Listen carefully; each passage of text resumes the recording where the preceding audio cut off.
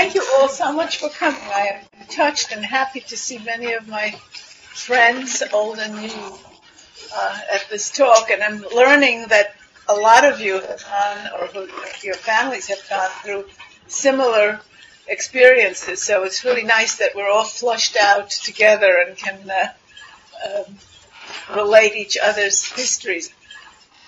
Anyway, what I'd like to tell you is something really about the background of this book and the major themes that uh, it deals with. And then I'll read a few passages, and then I'll just leave time for any questions or discussions. But it's very informal, so please feel free to ask questions or whatever as, as we go along.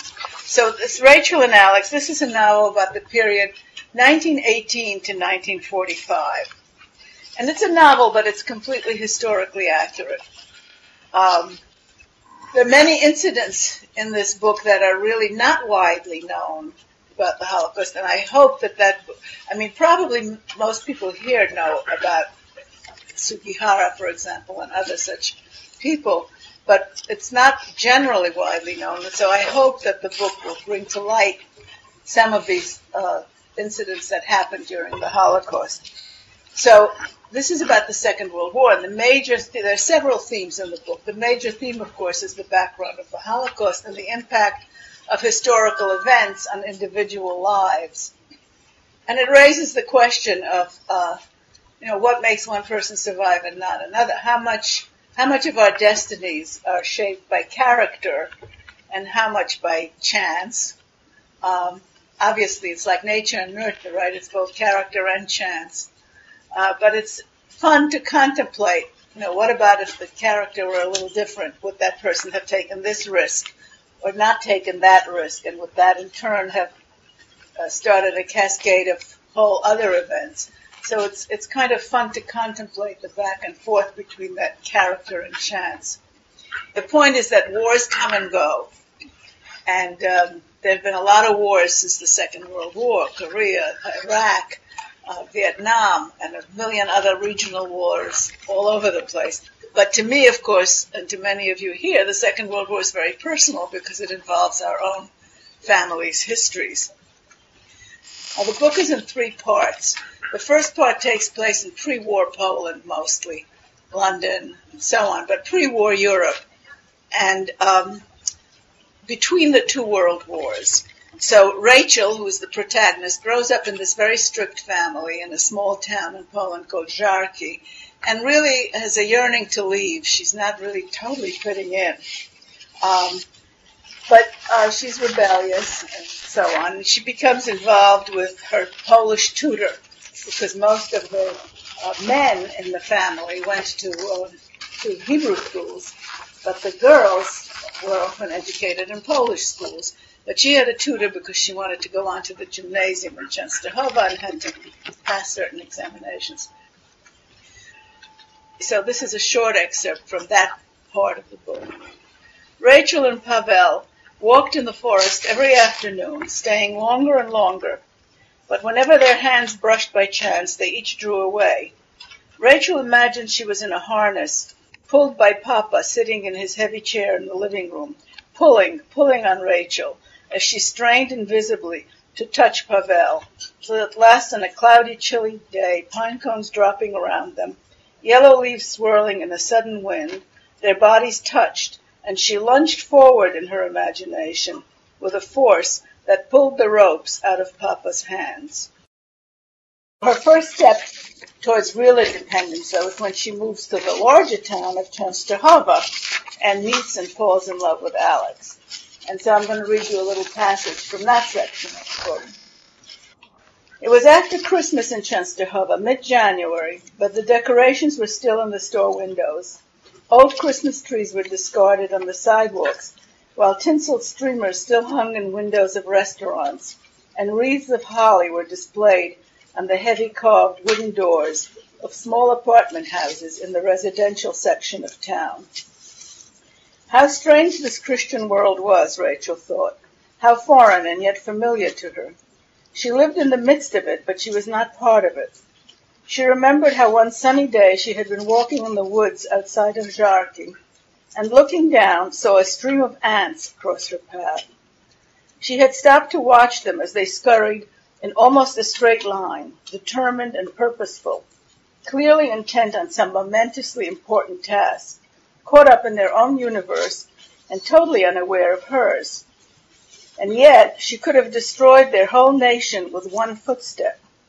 She had hopped over them, careful not to disturb a single one in its mission.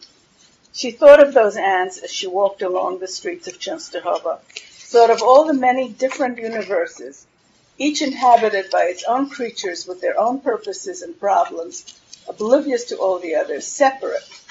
Her own personal universe centered on Aleks. She wanted to possess him, and he would not yield to her. And then unfolds the relationship between the two. So now what I want to do is give you a little historical background. Germany was soundly defeated in 1918, and um, terrible times were coming. Uh, there was a hotbed of political events, and there was wide world inflation and depression and unemployment. In that context, the Germans allowed Hitler to get into power. Um, I mean, he was clearly a madman even then, but he had a very large following and uh, he succeeded. It was a blend of rhetoric and um, rhetoric and terror, really, and masterful propaganda.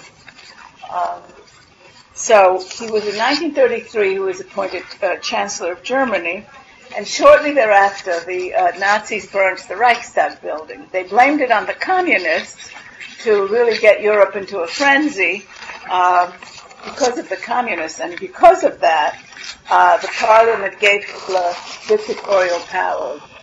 Um, and when von Hindenburg, the president, died in 1944, Hitler became the Fuhrer.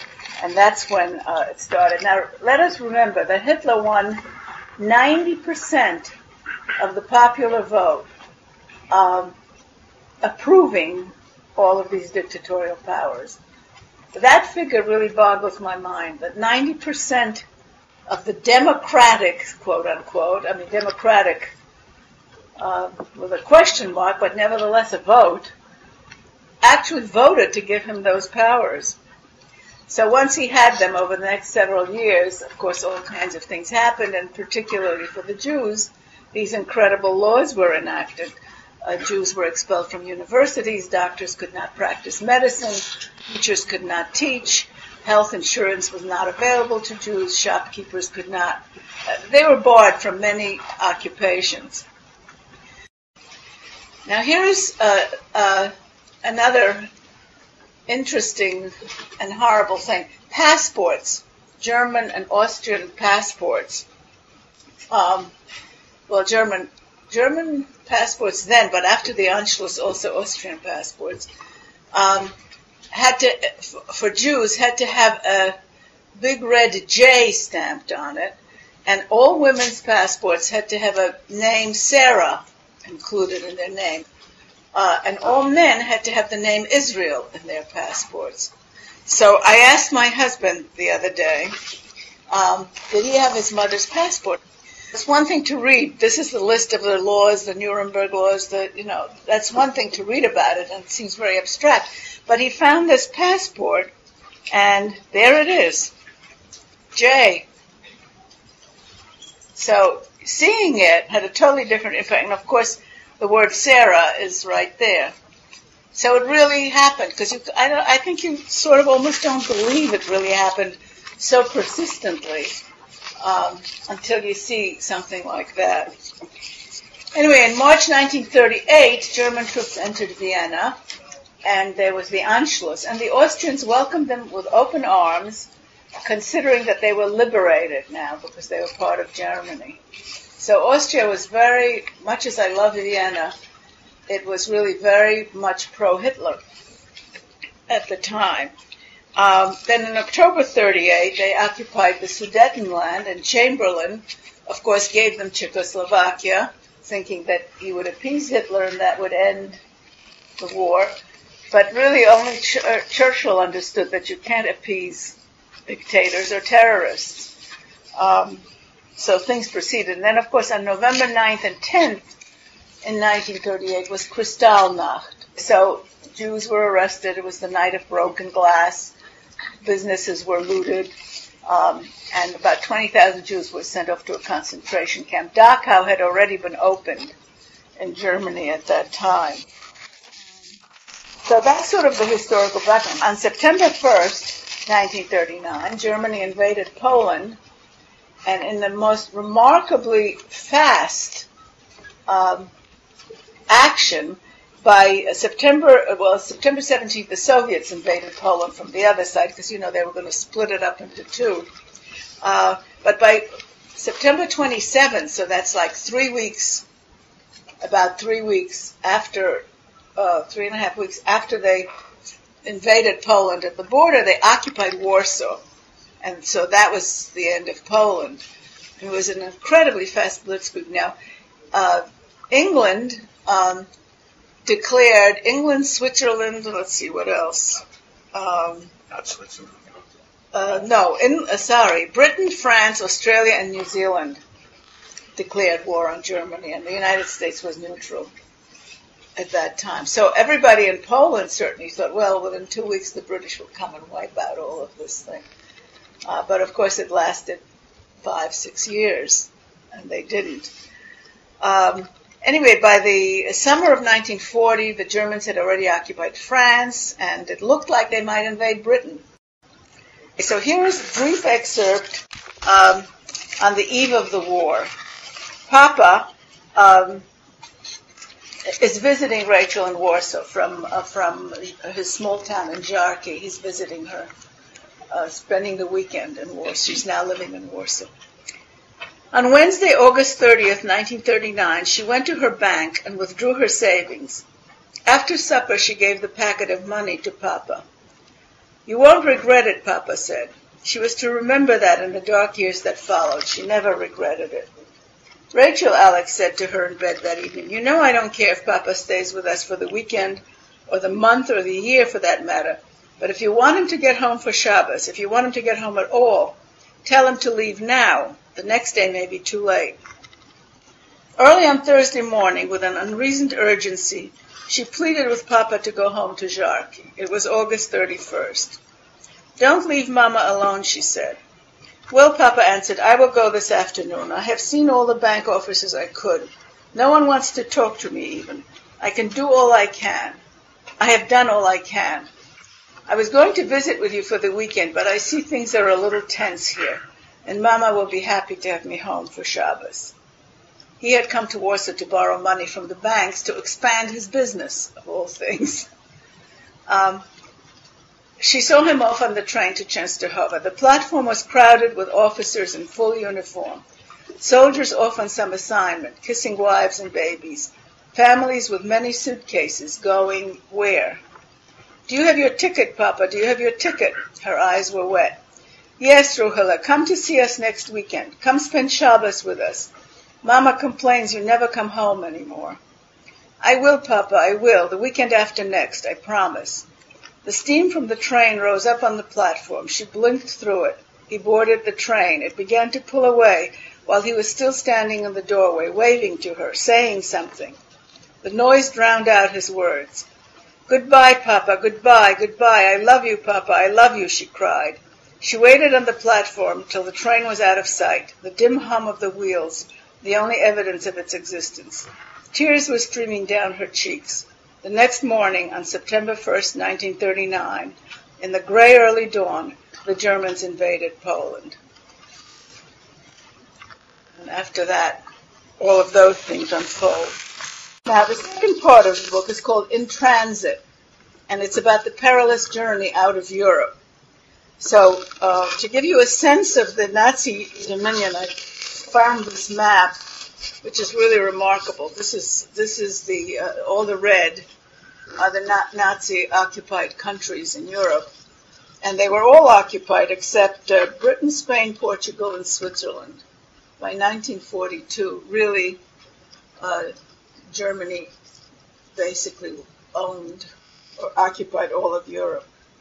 So it was very hard to get out, um, obviously. But one of the amazing aspects of this period was uh, the role of foreign diplomats, and there are quite a few of them. and there's an organization called Visas for Life. They had an exhibit in the UN a few years ago, but they have this traveling exhibit, and they honor um, several of these diplomats. It started actually when they discovered Sugihara. Well, I guess Raoul Wallenberg was discovered first, but they discovered this Chiune Sugihara, who had been the Japanese consul to Lithuania at that time, and um, he, against his uh, government's orders, because Japan was an ally of Germany, issued transit visas to Jews who were escaping from Poland to get out, but couldn't because the Germans were on one side, the Russians, uh, I mean, there was no way to get out. So he issued those visas, and uh, the government did not give him permission, but he did it anyway on the strength of his conscience. And he issued 2,000 such visas. Each of them was generally for a whole family. So my whole, my, my, my parents, my mother, father, and I were on this one passport. Um, and uh, he saved a lot of lives. Uh, it's estimated there he saved about 6,000 people in all, and there are about 40 to 50,000 descendants of those people now. So you can imagine what an impact uh, that really was. So he was discovered after the war, really, uh, by one of the people he had saved who was in Israel and found him. And no one knew about him because he was dismissed from the government and um, and so on. Here's um, here's Poland, and over here somewhere is Lithuania. And um, once he issued the visa, you could go to Japan, but you had to have permit from the Russians to go through Russia. From what I've read, I suspect that he really made some sort of a deal with the Russians to give the people that he gave the visas to permit to travel through. So then went through Siberia to Vladivostok, and from Vladivostok a short little hop to Japan, and then this was to Japan. Now Japan, of course, was a transit place, so people went to various other places and then around to really all the way around. Um, from Japan, Japan is over here. From here to Seattle or San Francisco, and then to New York. So it was quite a long trip, as you can imagine, uh, over several years actually. Um, but he made that possible, Sugihara. So that was really quite a courageous and amazing act. Now here is a uh, little excerpt from that part of the book called In Transit. It was also accidental, Rachel thought, so accidental that they were still alive. The ship they had been on from Vladivostok to Japan sank on the voyage immediately following theirs. It was sheer chance that they were in Japan getting ready to go to America, and yet, and yet, after all, Rachel's fierce determination made her leave Moscow against all medical advice. They had, um, had they caught a later train across Siberia, they might have been on that sinking ship. Was she totally powerless or totally powerful? A dangerous train of thought, because if she was totally powerful, then it would have been within her power to save Sophie, her sister. And she hadn't. She was pulled backward by the recurring nightmare of Sophie left behind, of her parents' unknown fate, and she was pushed forward to America by her daughter's future, by her husband's, and her own strong will to survive, and more than survive, to live. And so, when at last they stood at the railing of the Heian Maru, which would take them across the Pacific Ocean, when the loud blasts from the foghorn signaled their departure, and the freighter slid out of the dock, they were cut loose, like the ship, from the moorings of Europe. The last part of the book takes place in America. And this deals somewhat with the refugee experience, which is maybe, uh, which is different, I think, then than the immigrant experience because the people who were refugees in the 40s, 30s, 40s, 50s were escaping for their lives, really, and um, they were, of course, always outsiders to the society that, that they came into. They were refugees. Um, but the theme here is the, the persistent, unalterable uh, influence that that kind of a Weltanschauung has, not only on the people who are the refugees, but on their children and on, perhaps on their children, and who knows how far into the generations it goes, actually. Um, so th- this is this is always an interesting theme. You know, how far does the culture transmit itself? Um, the point is that they certainly were always outsiders. So in the book, when Aleks is contemplating his possible role in Poland after the war, Rachel is dismayed. You would not think of going back to Poland, Aleks, Rachel asked with alarm. Who knows what will be after the war? This is my country now. But if I am needed, who knows? Um, there is no one left there. I could never go back. What are we, Aleks? she said angrily. Poles, Jews, Americans? We're a little of everything and we're nothing. We're refugees. Well, I'm going to stop being a refugee. So that part of the book deals with, you know, with that experience. So, finally, against this background of war and escape and survival and so on, there is a love story in there, remember? This is a novel. Um, but that brings its own themes. Um, it brings its own themes of interest, I think. She gets involved with Roman, who is a rich businessman, very opposite from her husband in almost every way. Um, and, uh, you know, Freud's question, what do women want? So that's a question that she has to answer for herself. Um, now, remember that this is in the, where did she grow out of? What times, you know, was sort of just post-Victorian, really, right? And there, women certainly wanted the security of a husband and of being taken care of, and and uh, and their status derived from the status of their husbands. Um, in the period of this book, most women expected men to take care of them. Um, most women did not work, but of course there were lawyers and doctors and uh, statesmen in Poland who were women, but they were very clearly in the minority. Wasn't this we had what over 50% women medical students. 57. 57. uh, that was definitely not the case in those days.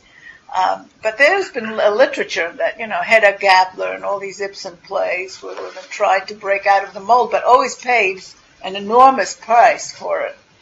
Um, so many women had, uh, uh, in my generation now, that's sort of, you know, right after her generation, had this conflict of between really wanting to be independent and also wanting to be taken care of. And that was Rachel's conflict. Um, so my feeling, my belief is that this generation is completely exempt from that. But I don't know. I, would like to know what your experiences are. I mean, do women want alpha males? Um, or do they not want alpha males? Maybe, maybe you can tell me. Do, do men want alpha females for wives? no? no. uh, and finally, the other theme in terms of the love story is, you know, what role does illusion play in our being able to fall in love or be in love? Do we need those illusions in order to fall in love and be in love? Or um, does love really begin after you're over those illusions and you are loving the person without the illusions? Uh, so that's another interesting question. So obviously there are no answers to these questions, but um, I hope that in reading the book, people might think of exploring them, those issues in their own lives. So I don't want to read too much because I don't want to give away the entire plot. So, thank you.